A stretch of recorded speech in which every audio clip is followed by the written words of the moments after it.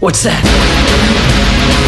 Kaplan, quick! get him out of Something there. happening in there. Kaplan, you gotta hurry. You gotta help them. What happens is the laser turns into a grid and passes through his body, just dicing him effectively.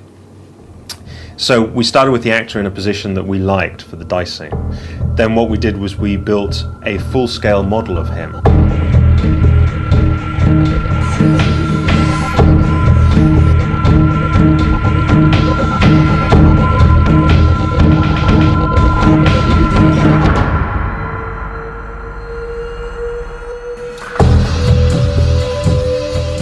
This is where his face will fall apart in the foreground.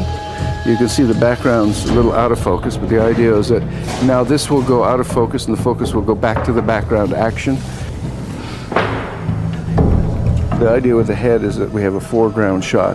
So if you were the camera looking at me and I was in the foreground, in the background, over my right shoulder, over the actor's right shoulder, you'll see my face like this and you'll see a piece of it fall off. One, two, three. And then we had that full scale model cubed and fall apart. And you see that happen. But rather than see it happen in miniature or see it happen digital, you see it effectively happen for real. You can see all the green poles going in. Inside those sleeves are other sleeves. They're connected in the back end so that we can pull out different parts. The men can pull out different parts of the body so they can fall and we can film it all. But this will be in the background, his back part as a reflection. So even though we're looking at his face, in the background we'll see this reflection on the wall, so we have to shoot his backside. I mean, they're going to cut me up. They're going to slice me. Pulled me onto the floor in a bag. A little bag, I'm surprised.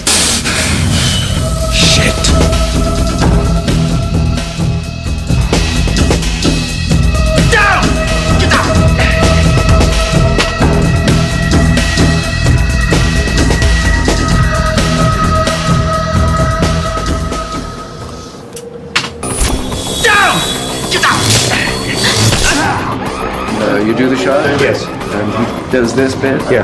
Uh, at the end of the shot, just say lower your hand. And then we'll have uh, Clean the place of him without his hand. Without having my Okay, well, we'll just do the action for you while he keeps his arms on up. that. Yeah, all right. Excellent. When we're done, we're going to peel off pieces from here. You'll do the move again just to get empty sets. First, we'll peel off the medic, then we'll move a bag, and we'll But move. can we just see the end position Yeah, first? see the end position. Stay conscious. We're going into shock. Stay awake!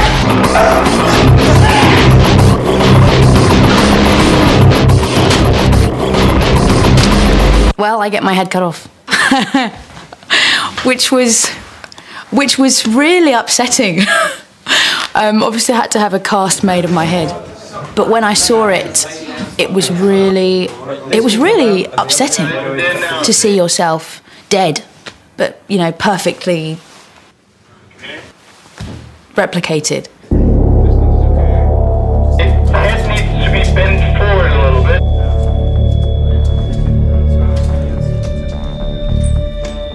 This is the first time we see the laser cut a slice of her throat. It's the first shot.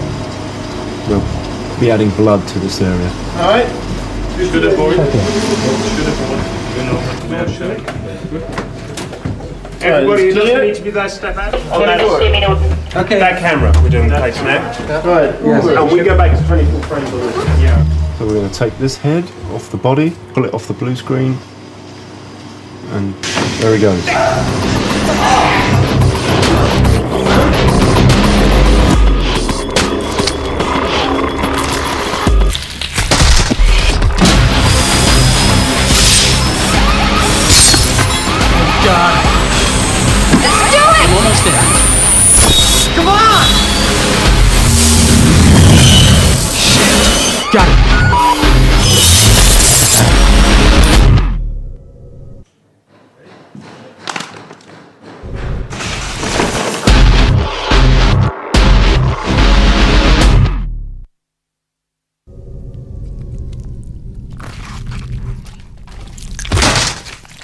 60. 12. 41. 40. This is 42.